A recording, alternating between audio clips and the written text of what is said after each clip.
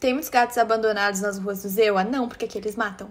Qual o petisco favorito de vocês? Esse aqui, ó. O churu eu compro de balde, que ele vem mais barato, mas eles também gostam desse aqui, que é o churu bites, que ele é como se fosse um, uma, raçãozinha é, macia aqui fora e por dentro ele é recheado com a mesma coisa desse aqui, que é úmido.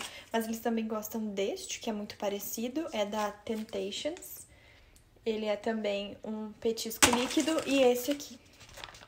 Vocês têm plano de saúde para pet? Não temos, porque aqui os planos de saúde não cobrem doenças anteriores. E como o Visão ele já tem asma, não serviria para nada o plano de saúde, porque qualquer problema que ele tem vai ser relacionado à asma. Então, não tem. A acne do Visão está relacionada com outros problemas de saúde dele, como por exemplo a asma. Então, quando ele tem muita crise de asma, inevitavelmente a acne acaba aparecendo, porque a dele, pelo menos, tem relação com isso. Quando ele tem crise alérgica, ele acaba tendo reação no corpo todo. Então, agora que ele tá melhor da asma, a acne tá melhor também. São cinco anos.